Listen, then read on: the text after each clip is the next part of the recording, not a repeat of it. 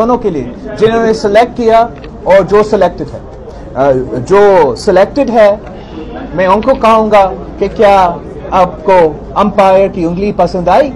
और जो, जिन्होंने सेलेक्ट किया, मैं उनको पूछता हूँ, उनसे सवाल करता हूँ कि क्या आपको तब्दीली पसंद आई? आप सबका बहुत शुक्रिया।